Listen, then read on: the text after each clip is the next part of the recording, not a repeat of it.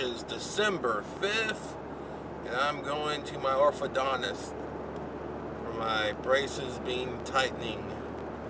Yay!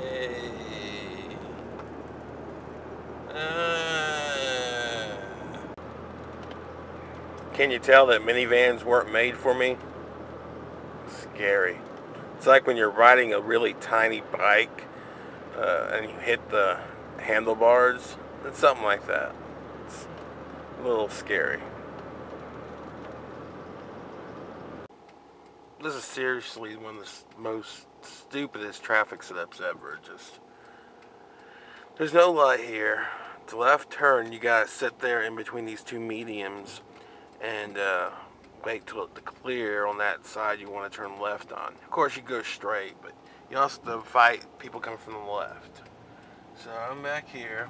I stop. I'm hoping that car goes before traffic builds up. He does. I pull into this left little slot, like this, so, and I wait for it to clear. I mean, seriously, someone's gonna get killed here. Was stupid. Ugh.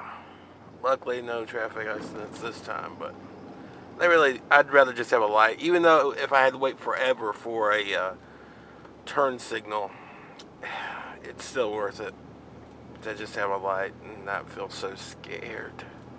Hold me, someone. I hope I don't bottom out in this steep embankment. Ah, not too bad. Well, that's over. That wasn't too bad. People on the internet were trying to scare me.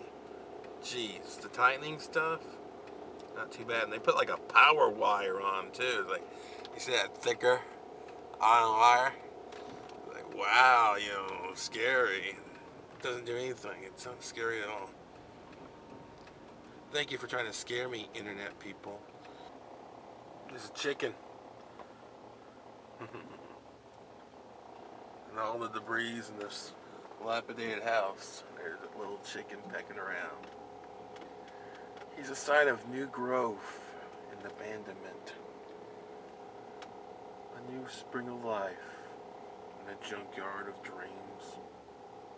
Keep pecking, you little cock.